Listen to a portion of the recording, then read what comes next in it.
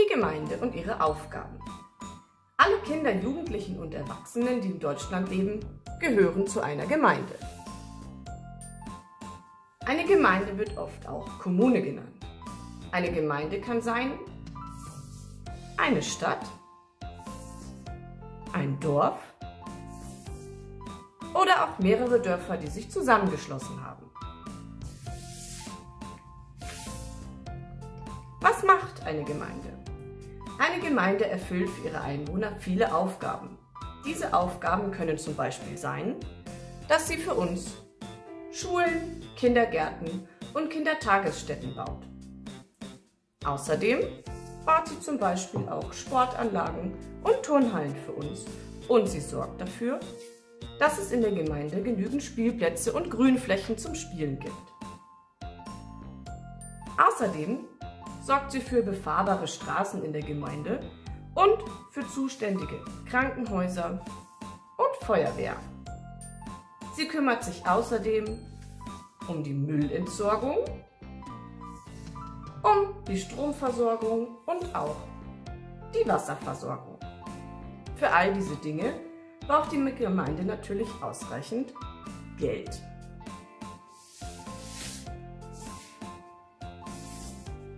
Woher bekommt die Gemeinde ihr Geld?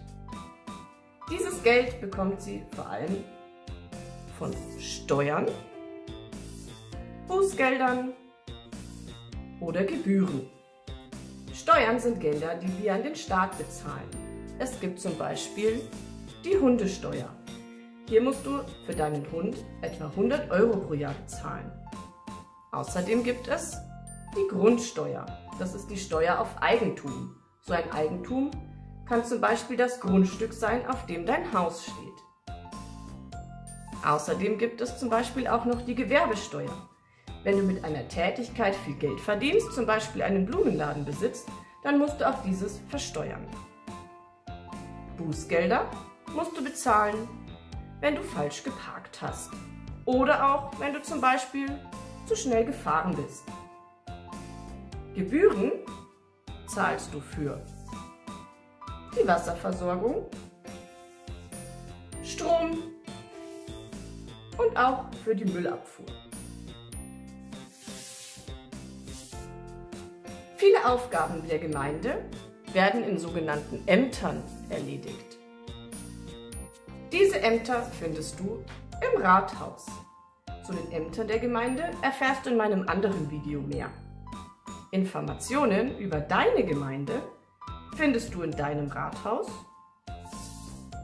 oder auch im Internet. Du weißt also nun,